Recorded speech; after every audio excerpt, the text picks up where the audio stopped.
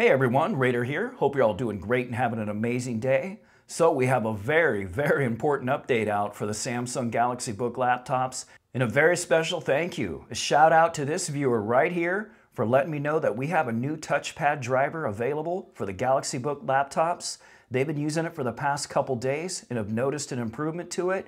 And I let this person know that I was going to use it for a couple days. Nah, no, no, no, no, no, no, no. That's not needed at all. I could tell the difference within a couple seconds.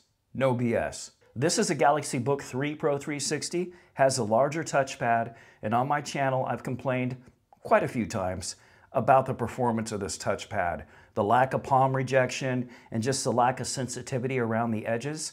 Samsung has addressed all of that. I've been using this with the updated driver since yesterday. I decided to give it a good day or so. Yeah, it's the real deal. This is like the update that we have been waiting for. For those of us that have the Book 3 Ultra or the Book 3 Pro 360, any of the models that have the larger 16-inch screen with the larger touchpad. This new driver update makes a huge difference. Let me show you where to get it real quick. Just open up your Start menu and start typing Samsung Update. And then you'll see it show up in your list of available drivers. Here, I'll show you what it looks like. Here's a quick screenshot.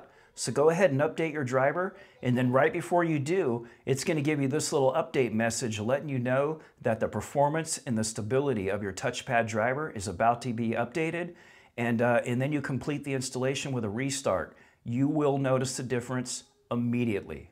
So open up that Samsung Update app and you should see that update out there. And once again, a very special thank you to this viewer right here. That's super awesome. Thanks for helping out the community. And hey, before we wrap this up, I have a quick question for all of you Galaxy Book fans. We're about to see the unveiling of the Galaxy Book 4 lineup. We're going to have all the same models that we've had the last couple years, including the Ultra model. And my question is to you, which one do you guys want to see me get?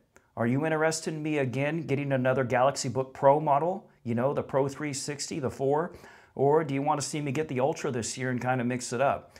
Really appreciate your feedback on that. I was, I was out for a couple surgeries and kind of thought they already released them, and I realized they haven't, and I'm like, okay, now I don't know what to do really, you know? So uh, let me know what you're looking to see content on. I really appreciate it. Just a quick update video. Appreciate your time. Thanks for watching.